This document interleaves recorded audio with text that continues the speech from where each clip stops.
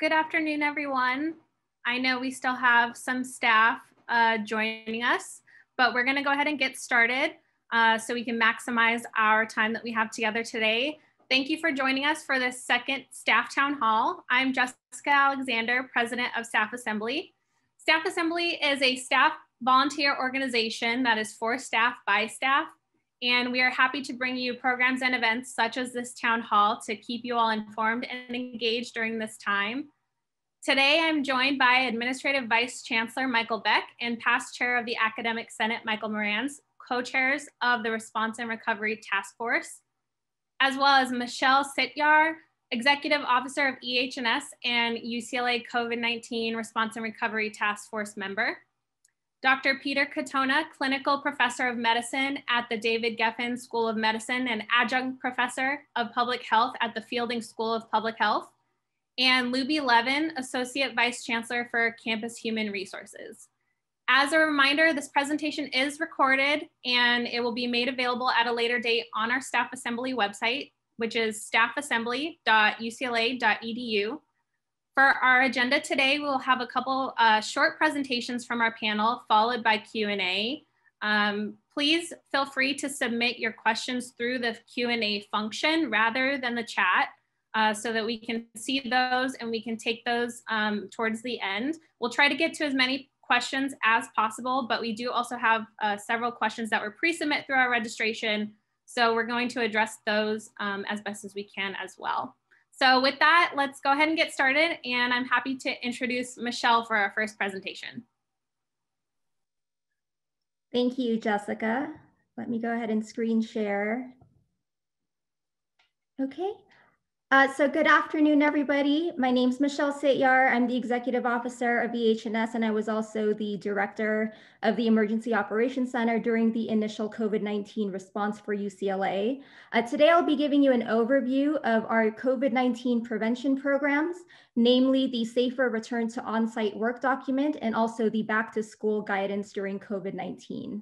Uh, these two documents are effectively our governing documents that inform the Bruin community of our plan to cautiously and gradually resume on-site operations at our facilities. It does apply to all UCLA faculty, staff, and students, as well as our contract workers and volunteers, though it does exclude staff and facilities uh, under UCLA Health who are subject to their own healthcare protocols. Uh, it provides a phased approach to increasing both our densities as well as our on-site activities. But of course, these are contingent on permissible activities per local public health conditions. The documents are framed by several federal, state, and local public health guidelines and orders. Uh, OSHA for staff safety, the uh, California Blueprint for a Safer Economy for reopening industry sectors, uh, and of course, our local uh, public health um, materials and reopening protocols, namely the Institutes for Higher Education that is applicable to UCLA. Um, there are a few new mandates that were issued in the past week one being the Cal OSHA Emergency Temporary Standard that went into effect last month, the temporary targeted safer at home order by the county, which was in response to the recent rise in cases in our county. Uh, and uh, lastly, the California Regional Stay at Home Order, which did go into effect for LA on uh, December 6th based on our ICU capacity, which has now dropped below 15%. Um, all this to say that our protocols and procedures need to remain fluid and adaptable to these changing orders. Uh, both documents address our campus preparations as well as our mitigation practices specific to COVID-19. These are summarized in the COVID-19 public health mitigation requirements for UCLA and focus on five main areas, uh, physical distancing, wearing face coverings, sanitization and disinfection protocols, case detection, and of course our non-pharmaceutical public health interventions. These documents also reference out to our other COVID-19 specific protocols, including the resumption plan review process through EH&S for on-site activities, the COVID-19 safety training that all must complete prior to coming back to on-site work, symptom monitoring, uh, community screening, as well as diagnostic testing for COVID-19, and ensuring that you follow exposure management as well as uh, isolation and quarantine protocols if necessary, and what to do if a COVID-19 case is identified on our campus.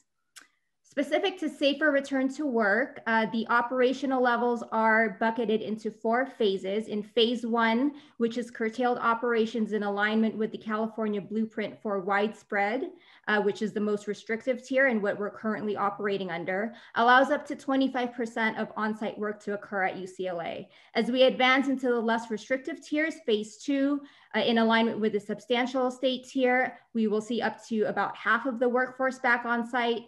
Phase three, which is mid-recovery, which we've bucketed under moderate and minimal, depending on where we are as a county relative to the, to the state guidance, we may see up to 75% of the workforce. And finally, at phase four, which is full recovery, we will return to quote unquote normal operations. I do want to point out that while we are subject to state and local public health guidelines, we, we do have the ability at UCLA to enforce stricter policies and measures if we deem it necessary to do so locally. So we have done that in certain situations. Uh, more specifically, what this looks like for returning to work, in phase one, we are currently limited to essential personnel, including healthcare, first responders, safety, and critical research. We do have uh, some flexibility for collegiate sports and some um, film productions that are currently allowed on campus, though we are primarily working remotely and still closed to the general public.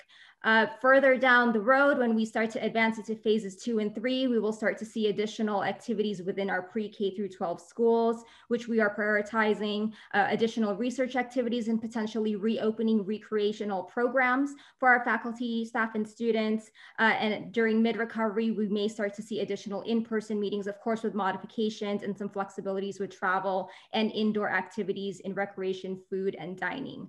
Uh, finally, at full recovery, we anticipate that everybody everybody will be able to come back to work at full capacity uh, and we will be able to resume all events and gatherings. And at that point, mitigations will no longer be required.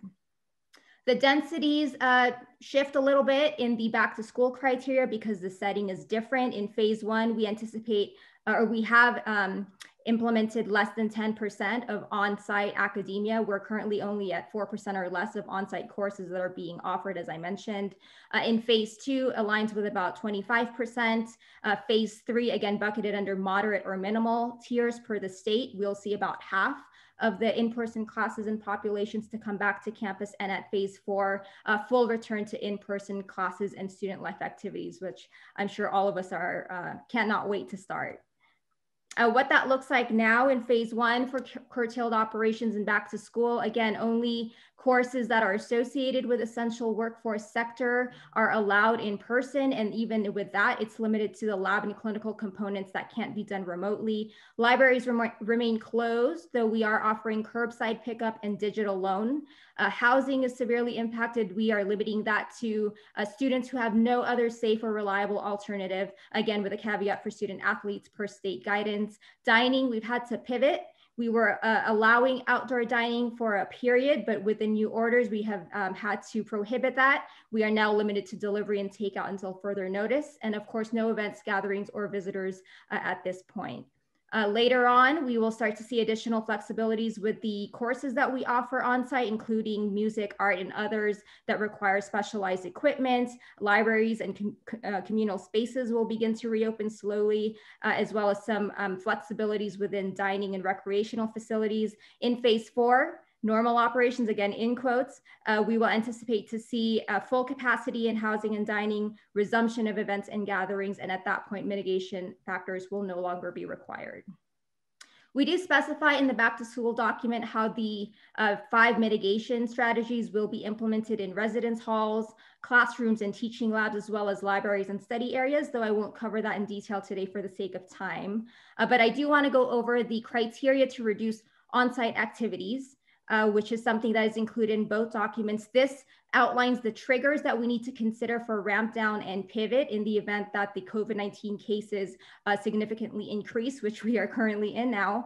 Uh, those triggers include the hospitalization and ICU capacities. If those become impacted, we will want to uh, make a U-turn and figure out what we need to do. If we start to experience a shortage in personal protective equipment or our resources at, lim uh, our resources at UCLA become limited, including our ability to test, and our ability to uh, analyze lab results within the turnaround times of 24 to 48 hours. If we are unable to keep up with contact tracing efforts or if our isolation and quarantine spaces become impacted, we will want to pivot. Uh, if we continue, if we see excessive non-compliance with our COVID-19 mitigation requirements, uh, or if LA County or other regulatory authority issues a directive that uh, obligates us to reduce densities or curtail operations, we will obviously need to comply.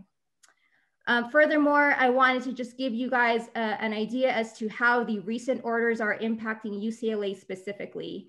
For the LA County temporary targeted safer at home order, again, in response to the recent rise in cases, this went into effect on November 28. We have had to ensure that our bookstore is limiting its indoor capacity to 20% or less. Again, we have had to close outdoor dining, so stakeholders have been uh, informed and they have executed this accordingly. We've also had to close community playgrounds that are not associated with pre-K through 12 programs or our childcare centers, and also close community pools. Uh, and these last two points mainly impacted our offsite uh, housing uh, facilities. The mayor issued an order following the county's order, uh, which now also obligates individuals over the age of 16 that are traveling to LA City from another state or county or a country, I'm sorry, to submit an online traveler registration form. So this has been communicated to the proper authorities at UCLA. There is a fine associated with non-compliance, so we are ensuring that this is clear.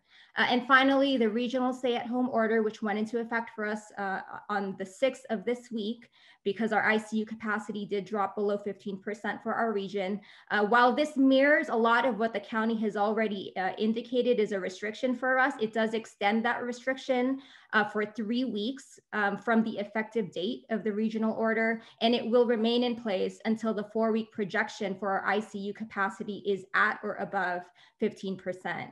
What this means for us is we've had to work with Luskin and our hotel staff to ensure that they are only supporting essential activities. There's also a caveat for non-essential travelers. They can also reserve with hotels if they will be staying for the duration of a quarantine period. That's a lot of money, but that's something that we're allowing. We have had to implement uh, stricter uh, masking requirements, and this is in quotes because we already have a, a, face covering policy for UCLA, but this does now obligate us to wear face coverings even when alone in your cubicle. And when you need to remove your face covering when you're eating or drinking, you need to ensure that you're physically distanced from others and try to limit that to your designated break times if practical. Uh, and finally, uh, review and approval of new uh, research operational plans are suspended at this time with limited exceptions under VC Wakimoto. And last but not least, the documents cover accountability, where it says that everybody in the Bruin community is responsible for uh, complying with these measures and any non-compliant behaviors will be addressed in accordance with our procedures for enforcement and compliance of COVID-19 public health mitigations. And that's a lot of information. It is all posted to Bruin Safe Online along with our, very, uh, our specific protocols. And we also provide updates on our various news feeds. So I um, encourage you to visit those. Um, thank you so much for your time and I look forward to your questions during the Q&A. I'll turn it back to Jessica. Thank you, Michelle. Uh, that was a great presentation. As a reminder, please continue to submit your questions through the Q&A function. And next we will hear from Dr. Katona. Thank you, Jessica.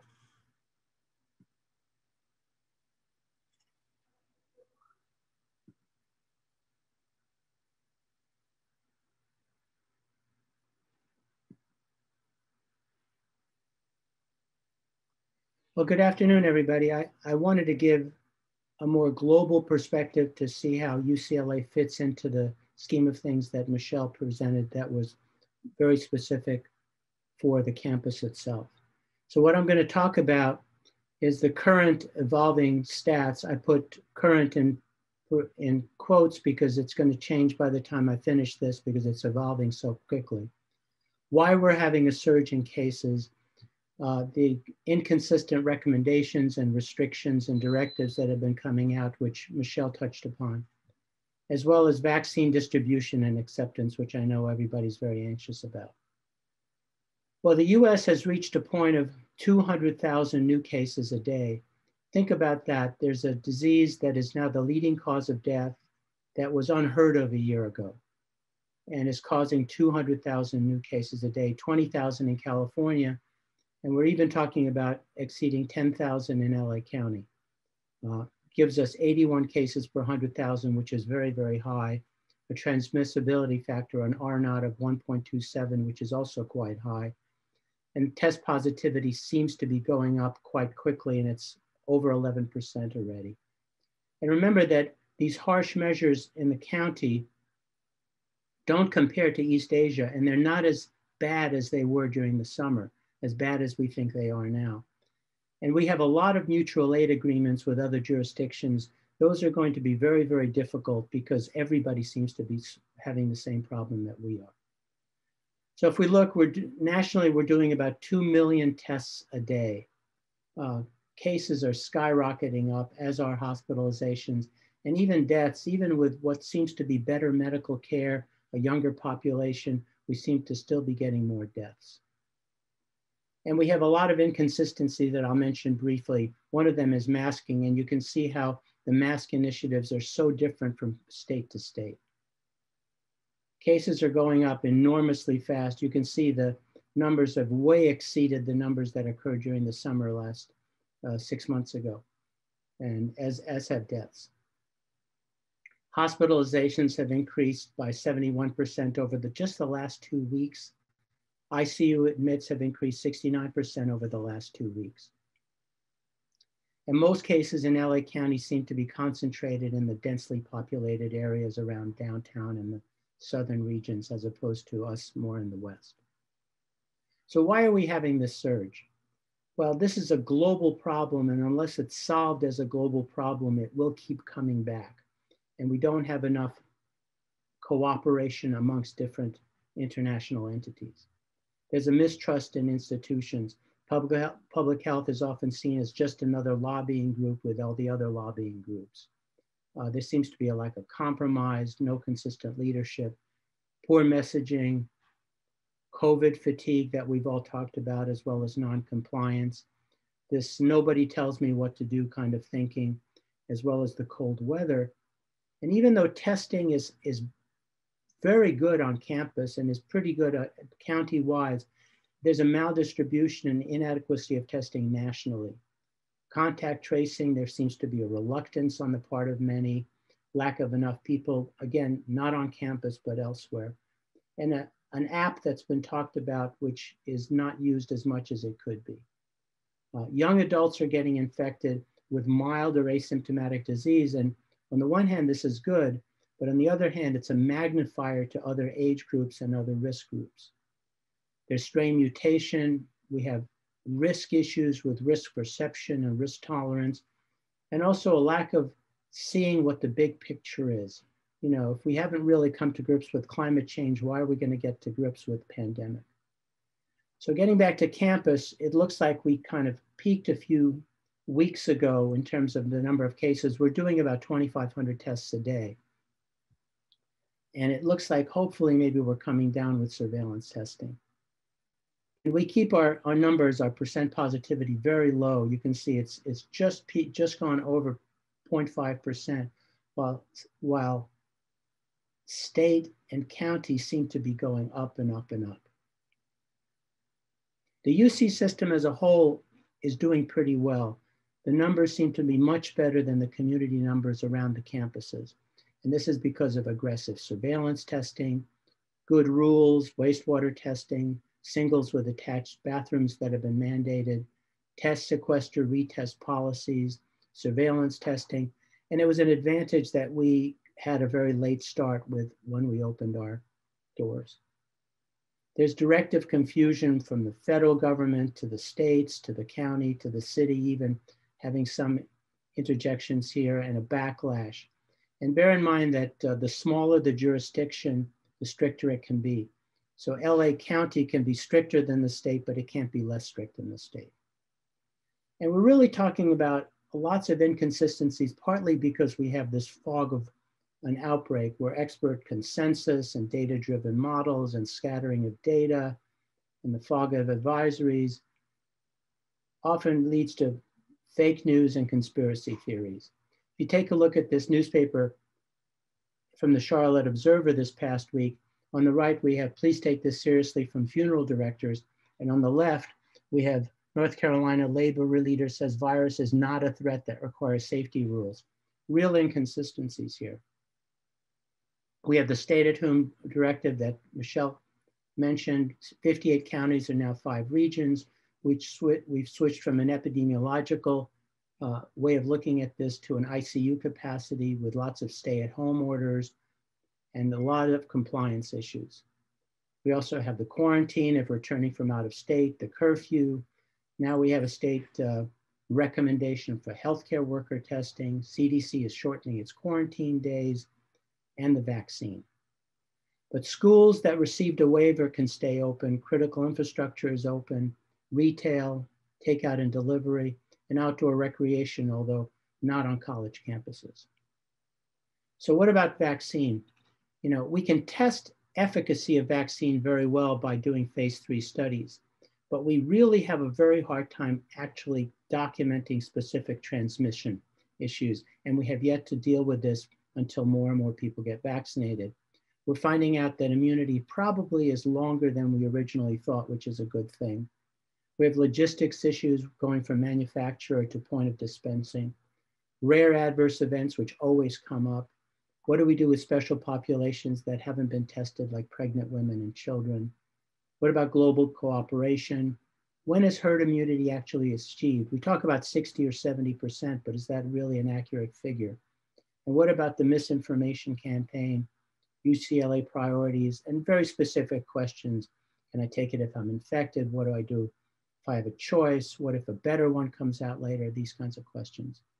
So we have the two messenger RNA vaccines, one that will be probably released this week and the other one being released next week with very, very good data. But the really good data can, can be shown on this graph where the placebo group compared to the vaccine recipients had a markedly different response to getting sick.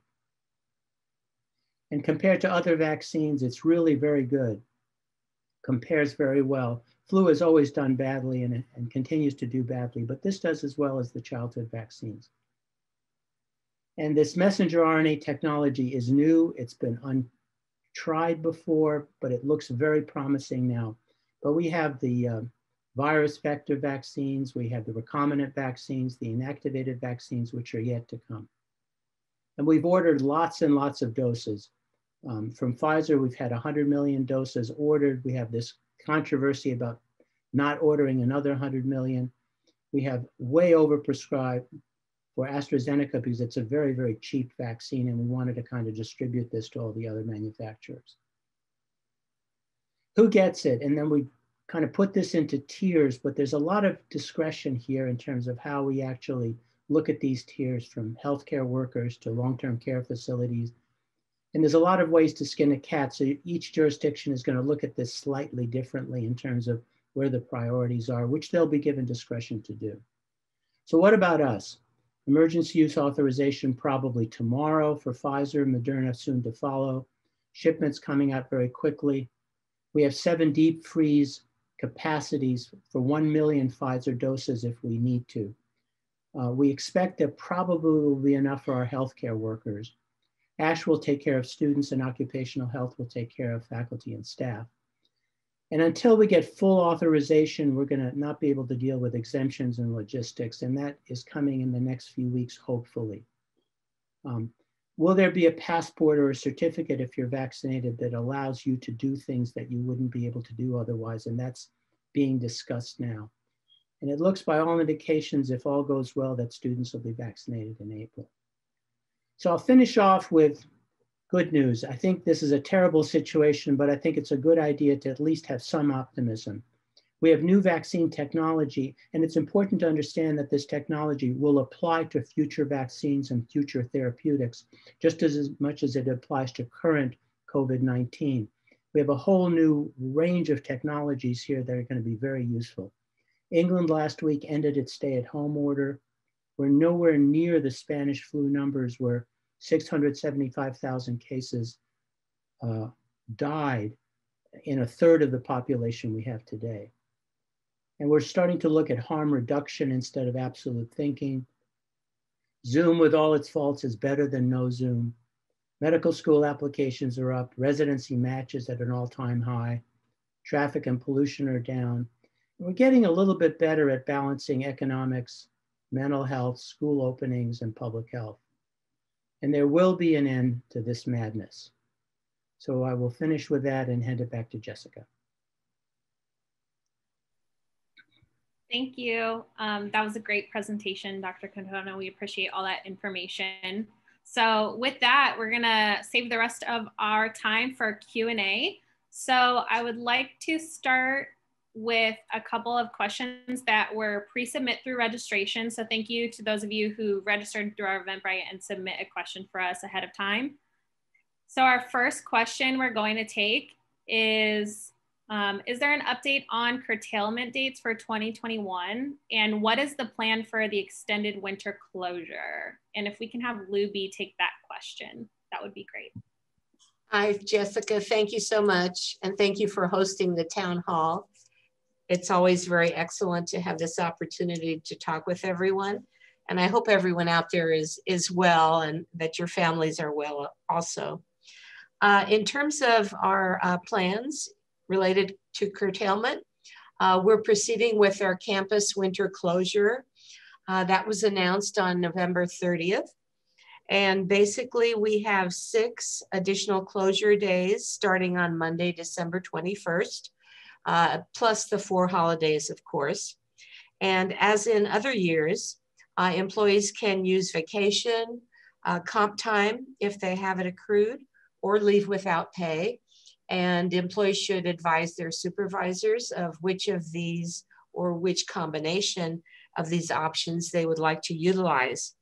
Um, we are not planning any further broad curtailment uh, like the ideas that were presented by the Office of the President. Um, UC President Drake is leaving a lot of flexibility to the campuses. So at this time, we don't feel the need for any uh, reductions in salary or additional uh, days off. Uh, so that's uh, very good news, uh, thanks to the careful planning and financial support that's being provided across the campus. So if there are any changes in that, obviously we'll, we will continue to communicate with you. But right now, that's basically our plan is the winter closure plan. Thank you. Thank you, Lubbe. Um, our next question, will essential staff be able to get COVID tested on campus through winter break? Um, so we'll send that to Vice Chancellor Beck or Dr. Katona if you'd like to answer.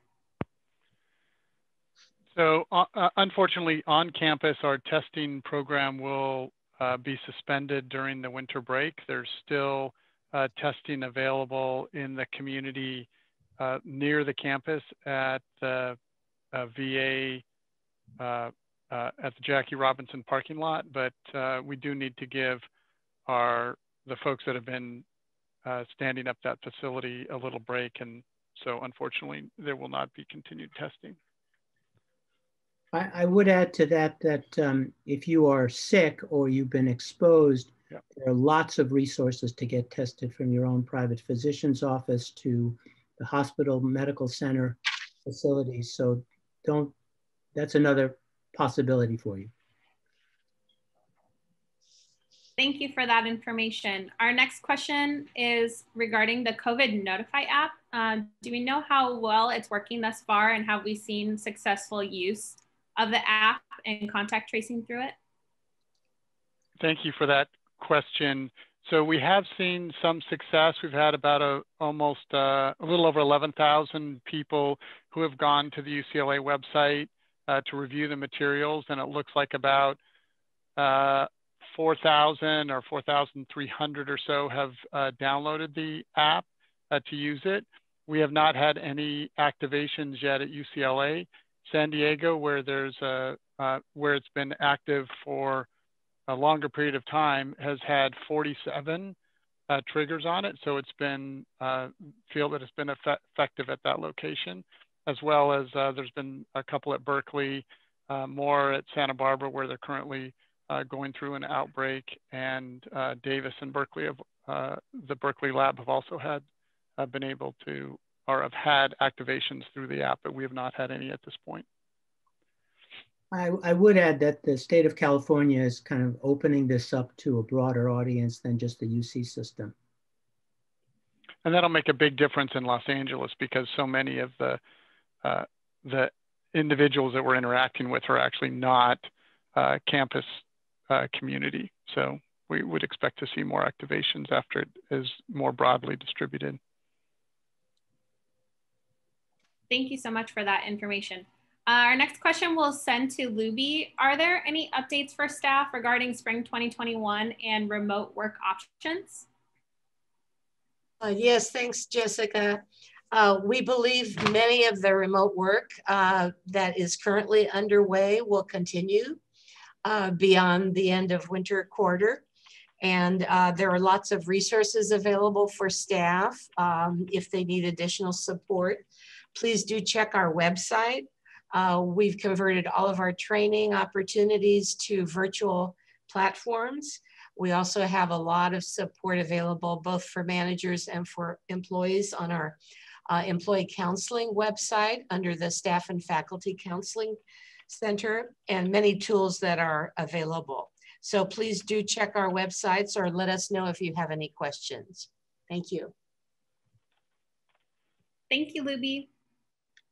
So our next question we're going to send to Dr. Katona, and I know you mentioned some updates about a COVID vaccine in your presentation, um, but we had a pre-submit question and then there have been a few that have come in through our Q&A function. So are there any updates regarding the vaccine and whether it will be made available to campus essential staff or health workers, when it will be, be available, who will be who will it be available to, and is it going to be something that we're going to mandate on campus? Well, I don't think we can mandate it, but um, at this particular point, it looks like there will be vaccine available relatively soon, starting with vaccinating healthcare workers. That's in contrast to places like England, where they're going after the over 80 population and the long-term care facilities first and not the healthcare workers. But the timing of all this, the logistics of getting it from pharmaceutical manufacturing plant to point of distribution is still not clear. So there may be some rough spots there in terms of it, but it looks like tomorrow the vaccine will be recommended by the advisory committee the FDA will take the recommendation. It will all of a sudden start sending doses out, and they should start reaching the 50, 50 states, the six city jurisdictions, and the territories the week after. So uh, that's where we are, but there's still a lot of unanswered questions as to exactly pinpointing these dates. I'd say one uh, sort of side note on that is it is quite possible that the vaccine will be a requirement for students uh, on campus, similar to other vaccines that students are required to have uh, for participating in on campus. And if it's not, may not go include all students, but uh, more likely to include students living in campus housing, but that decision is still yet to be made. Dr. Katona is right with regard to uh, faculty and staff. It's uh, not likely to be mandated, and the current vaccine policy for healthcare workers is, is that it is not mandated.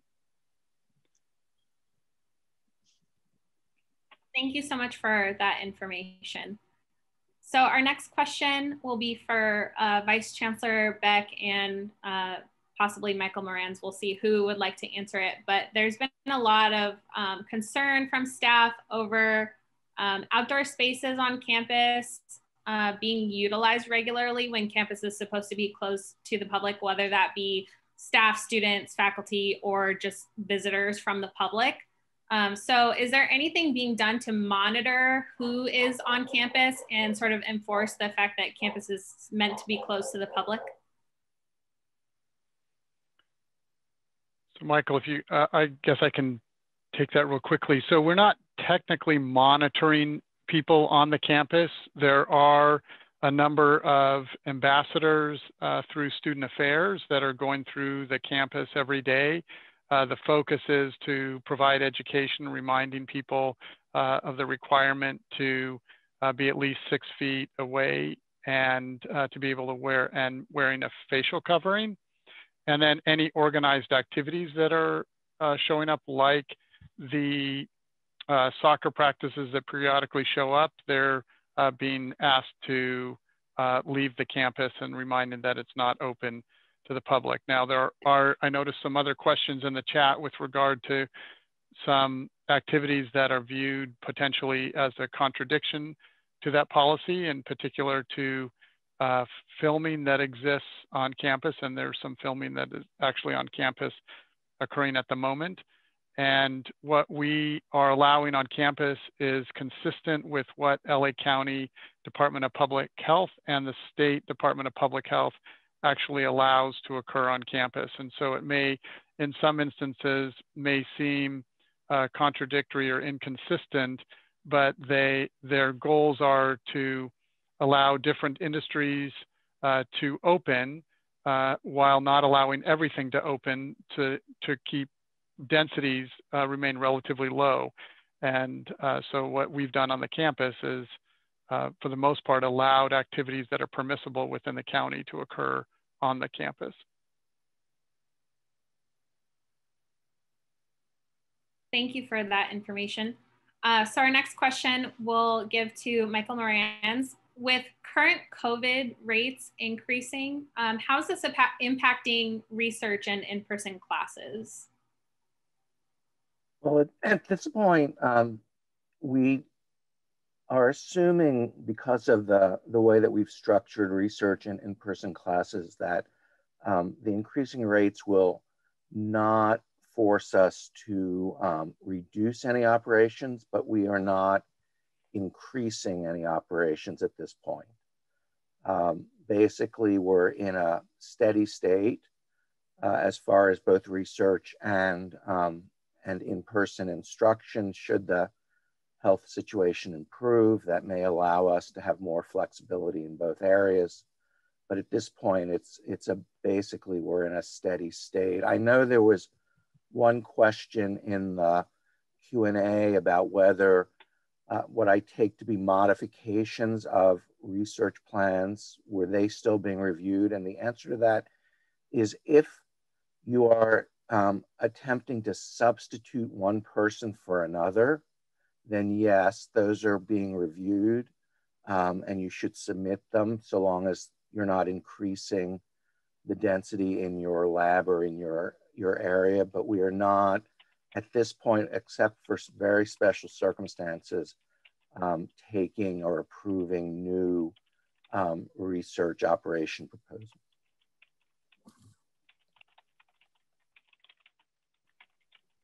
Thank you, Michael. Our next question uh, will uh, let Dr. Katona answer. Um, the LA Times has uh, released an article uh, earlier today discussing um, the question of whether the six feet uh, for 15 minute threshold might be insufficient um, regarding COVID transmission. So, what's the thinking on that, um, and particularly related to uh, folks who are working in the lab?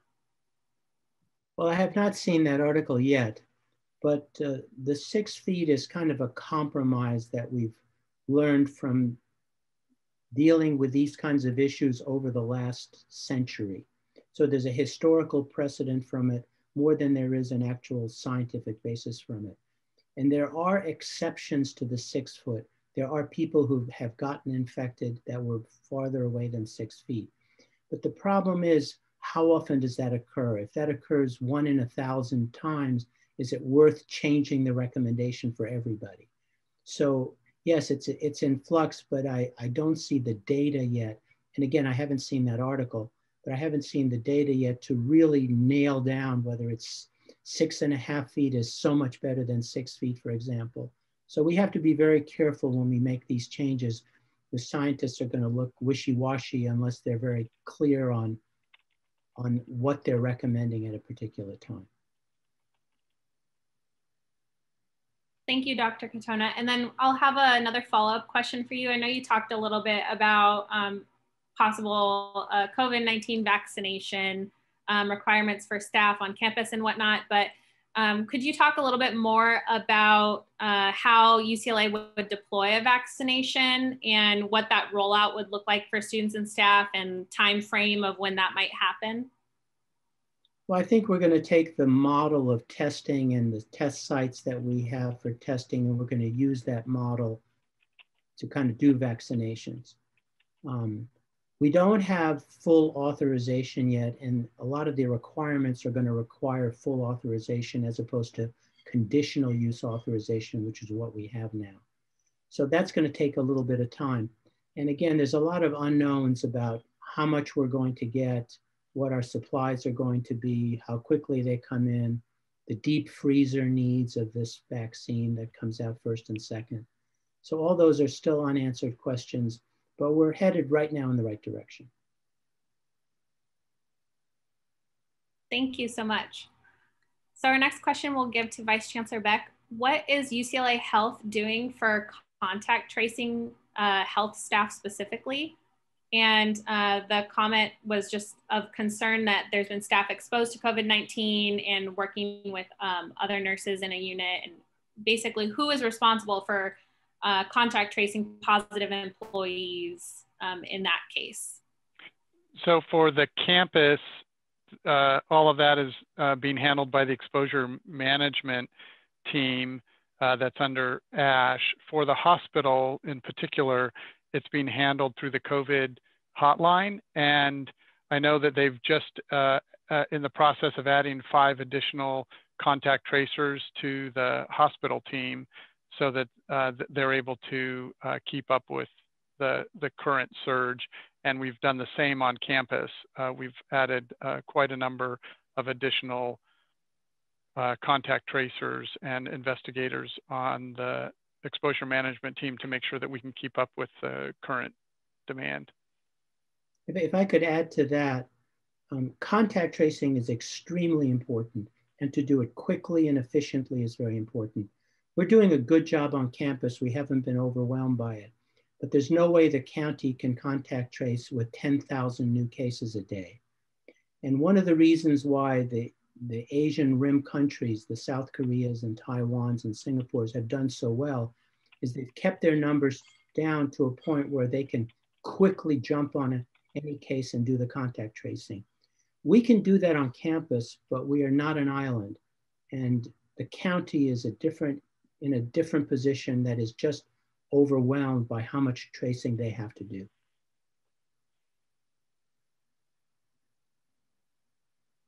Thank you both for that information. Uh, so our next question, um, either Vice Chancellor Beck or Michelle, if you would like to take this one. Uh, will reporting continue to be managed centrally through expo the exposure management team at Ashe? So yes, uh, for the campus uh, population, both students, faculty, and staff on the campus side, that'll be handled through the exposure management team centrally. And for the hospital, it'll be continued to be managed at this point through uh, the COVID hotline.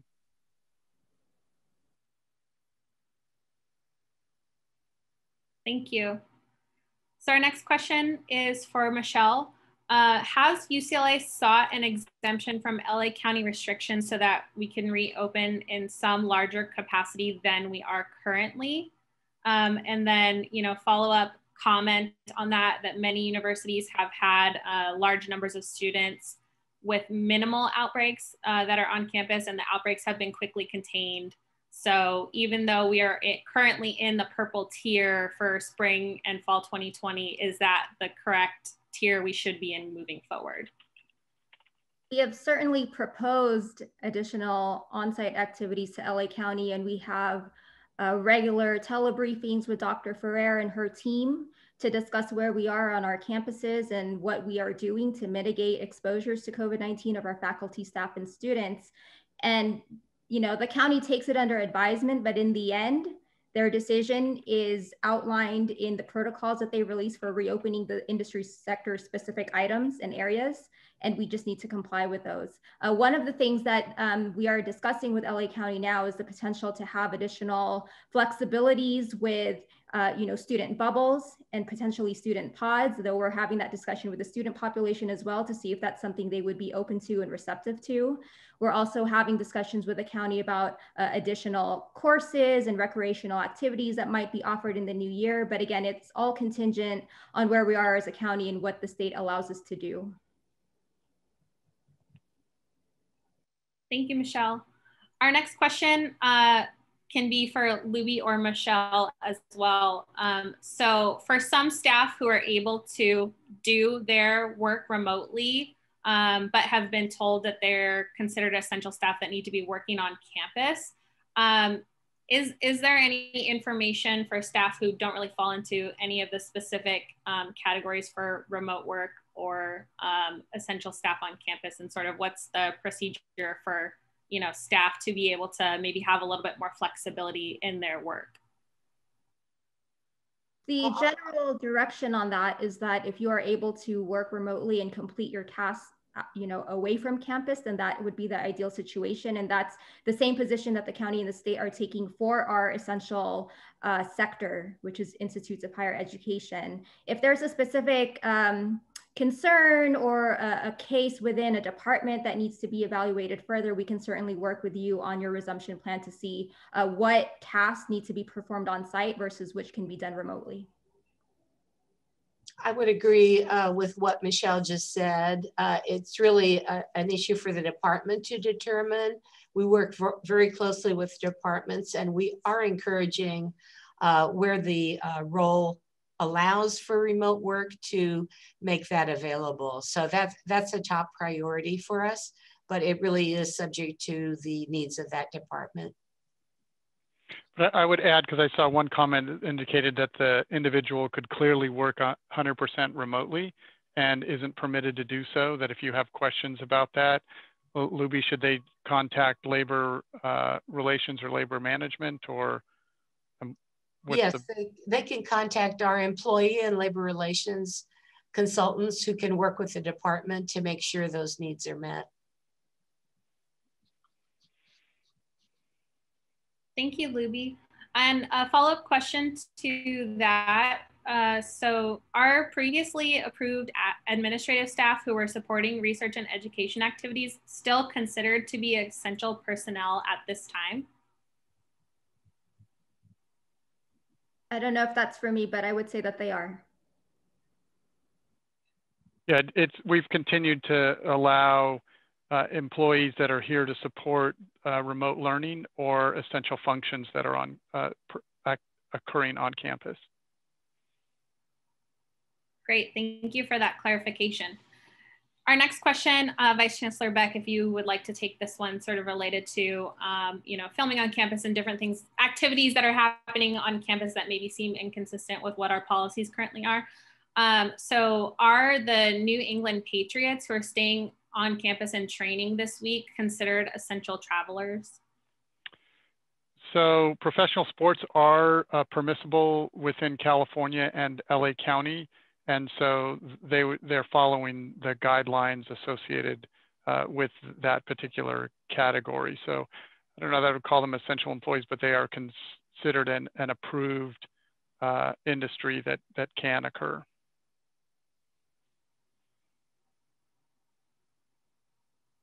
Thank you. Our next question, uh, also for Vice Chancellor Beck, uh, would there be any trigger to provide alternate care sites for UCLA community members who cannot follow public health guidelines to isolate effectively at home? So that's a great question. The answer to that is yes. Uh, we're providing those services for the student community, and I did notice some other uh, comments uh, in the chat with regard to the students. Uh, we do provide uh, isolation and quarantine facilities for students that are living in campus facilities and even those that are not living in campus uh, facilities. That uh, staff or faculty are able to stay at the guest house. We've converted the guest house to a COVID recovery facility and the general community, uh, if they don't need to be hospitalized, but they do not, uh, but they cannot be at home or in their residence, are also staying at the guest house as uh, uh, for their isolation and quarantine. And uh, patients that are being moved from the hospital are also going there, and it's very uh, rigid protocols associated with that, where food delivery occurs and people required to remain in their room. Thank you for that information. Um, our next question is for Michelle. Uh, what is the department's responsibility for COVID notifications related to AB 685, which is effective on January 1st? Since it indicates that departments must notify those who are potentially exposed within one business day and must retain documentation for three years, does that mean departments will be responsible for contact tracing in order to know who to notify? Thank you to whoever asked that question. We actually just modified that SOP this week. Uh, and we are no longer requiring the departments to be the designated authority to issue the AB 685 notifications when it goes into effect next calendar year. We're currently having discussions with other UC campuses as well as UCOP and the Office of General Counsel about potentially uh, making a dashboard available where this information will be deposited to serve as the notice for AB 685 requirements specifically. Uh, this will not change the process we currently have in place where departments are able to issue notifications to their staff and visitors and students of COVID positive cases using the template in the SOP. The dashboard will is intended to address the AB 685 notifications specifically, uh, but more information on that will be coming before the closure. So check back on Bruin Safe Online for the updated SOP. Thank you, Michelle. Uh, so really quick, our next question um, for Dr. Katona, uh, just a clarifying question regarding uh, COVID testing for staff. Um, can you clarify what the current testing protocol is for staff who only come to campus one to two times a month or, you know, infrequently? Well, the infrequent coming to campus puts them in a lower surveillance testing category. So if you're only on campus every couple of weeks once, the surveillance testing probably doesn't apply to you that much.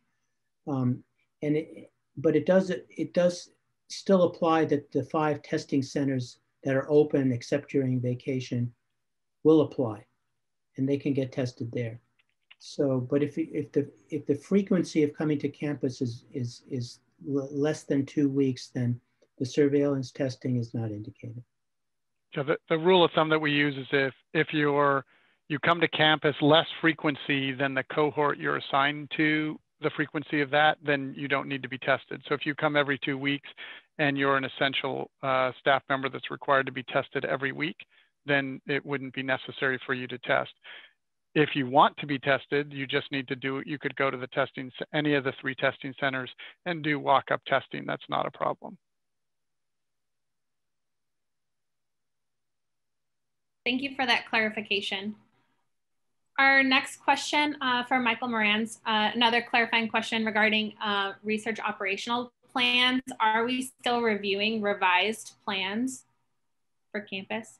Yes, as I mentioned before, um, if what you're talking about is that you have an already established ROP that you're simply modifying, then yes, you should submit that and it will be reviewed.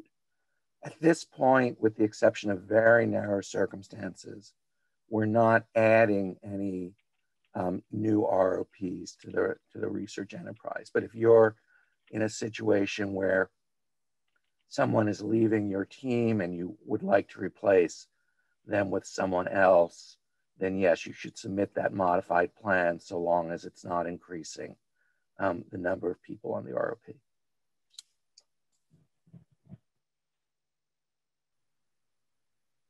Thank you, Michael. Our next question is for Michelle. How do we report folks who are being non-compliant uh, with uh, COVID protocols and what are the consequences of reporting them? There are no consequences. Uh, the procedures are outlined specifically for reporting of uh, employees as well as reporting faculty, students, and non-UCLA affiliates. Those are all outlined in our UCLA procedures for enforcement and compliance, which is posted to Bruin Safe Online. And that is hyperlinked. All of these protocols are hyperlinked in my presentation slides, which will be made available to you all uh, following this town hall. And just to clarify, uh, there are no consequences for those making the reports, there could be consequences for those that are not compliant. That's a good point. I did not make that distinction. Thank you, Mike. Well, it's the way the question was asked. I just thought it might have been confusing. Thank you for that clarification. Uh, so another question for Michelle. Um, with California revising the play, playground rule, um, is UCLA Family Housing going to reopen playgrounds? Unfortunately, the county protocol for outdoor playgrounds uh, still prohibits that sector from reopening. So no, we will not be reopening that at UCLA. Thank you. Our next question is for Lubbe. What aspects of remote work is the university thinking about continuing after we're back on campus and uh, work has resumed? Well, I'm, I'm glad to hear this question being asked. We have several different work groups who are looking at what the future will be. And we want to make sure that remote work will continue where it makes sense to do so. And we're developing some plans and resources for employees as well as for managers to make sure they can be successful in that remote environment. So I do expect that much of the remote work will continue. I also saw a question in the chat uh, or in the Q&A about accommodations. And for those employees who feel they need to work remotely and need an accommodation, if the department is not already supporting that, to please contact insurance and risk management so you can have the accommodation addressed through our disability management group. Thank you, Lubbe. Our next question is from Michael Meranze. Uh, is there going to be access to campus offices for for faculty who need to retrieve materials uh, to Zoom teach during winter quarter uh, during the closure period for campus for winter break? As far as I know, if faculty members have the key to their offices, then yes, they should be able to um, obtain that material just as they do at any other time. Um, if Michael has a different sense of that, he could say, but I don't see why that would be affected any more than any other break. No, it, it's the same as the break. And if they're allowed to come to campus now for those materials, then that would be consistent during the closure period. Thank you for that information. Our next question we'll give to Michelle. Uh, so if you, if there are staff working in a private office on campus, is it necessary to keep a mask on at all times?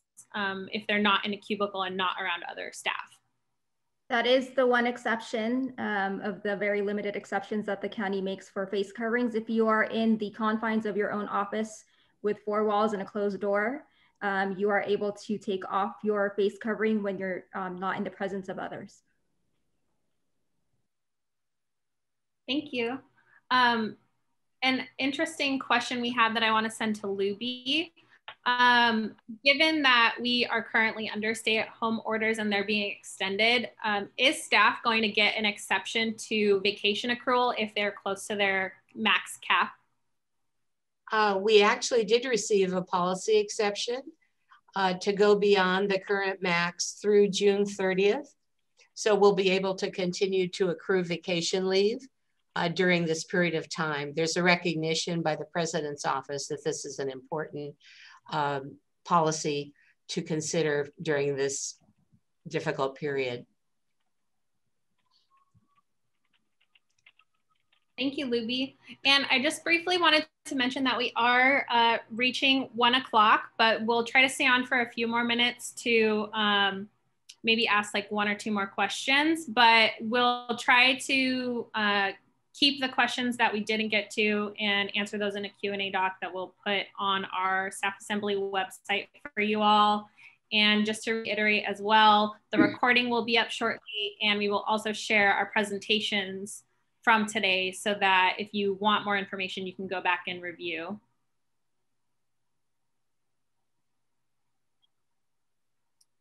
Um, okay, let's go with our next question. Um, so this one's for uh, Dr. Katona. Um, is there any new technologies that will be used for future vaccinations? Well, there's a lot of technologies that are putting themselves into this sphere. The messenger RNA technology that the Pfizer vaccine and the Moderna vaccine are using is brand new. And that, that is a technology that I'm very, very excited about having broader implications. But uh, we're, we're seeing a lot of things with AI and information technology um, in many, many dis- different spheres, a lot of new therapeutics that are coming out. It's an exciting time for a lot of the science surrounding COVID. Thank you for that, Dr. Katona. Our next question uh, for Lubbe or uh, Michael Beck, whoever wants to take it. Um, we were told in order to return to work or go to the office for the day that there needs to be submitted proof of the flu vaccination. Uh, so since this, this requirement includes personal information, can you speak to what is actually being required by campus and how personal information is being protected?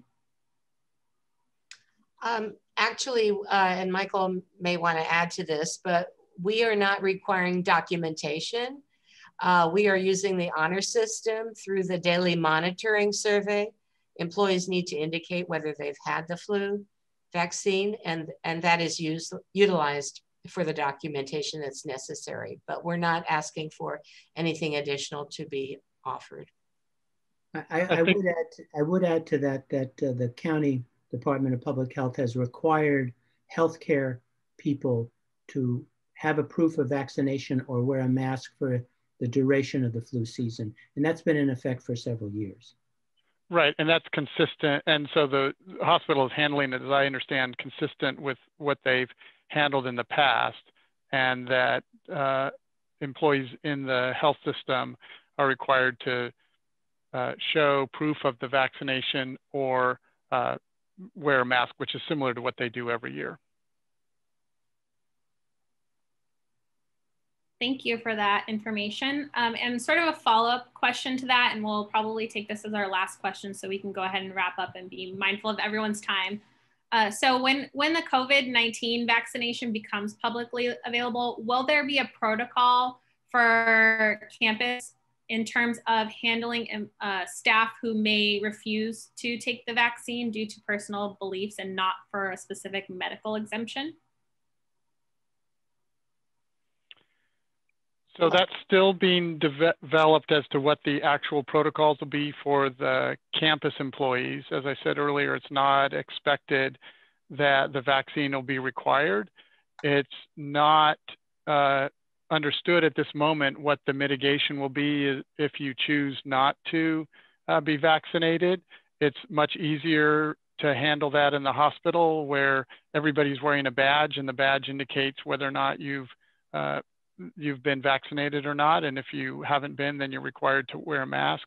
Uh, we don't have the same ability to do that on the campus, and we want to make sure that we're not creating uh, sort of a scarlet letter scenario situation uh, for individuals. And so that's uh, still something that we're working through. We're working through with the Office of the President and uh, with the uh, other campuses so that we're consistent across, across the system. I, I, would add to that also the fact that it, there's a mandate issue or whether or not it's mandated, whether it's required. But there are also going to be businesses that are going to have rules entering a movie theater, entering an airplane, there could be different entities that are going to say, hey, we want you to be vaccinated. We can't force you to be vaccinated. But if you want to do what we provide, you may have to show proof of vaccination. So it's a totally different entity from the mandating by an institution, by a government, by a college that may come into play now. Thank you so much. That was really informative. Uh, thank you again for everybody who joined us today. I hope that this town hall has been helpful uh, to you all and informative. Um, we'll try to make sure that we get to any of the unanswered questions and provide some additional resources on our staff assembly website, which is staffassembly.ucla.edu. And again, on behalf of Staff Assembly and the COVID-19 Response and Recovery Task Force, we just wanna appreciate the dedication and hard work of all UCLA staff during this time and hope that you feel supported and heard. So if you have any additional questions or concerns, feel free to email us at staffassembly at ucla.edu and we'll try to uh, work with you and get you connected to more information. And then I also wanted to briefly mention that Staff Assembly has a few more programs coming up before the end of the year. So follow us at UCLA SA to stay informed and join in all our programming. And we also have our Spark campaign that is going to be concluding on December 16th, which is our current fundraiser to support staff professional development scholarships, which is a really important uh, program that we offer to staff to be able to have some funding for your own personal and professional development. So please visit our Spark campaign at spark.ucla.edu slash staff assembly to check it out if you have not done so already. And with that, we will go ahead and uh, conclude our presentation. Thank you all again for joining us and thank you so much for the panelists. This was really great and informative. Have a great afternoon, everyone.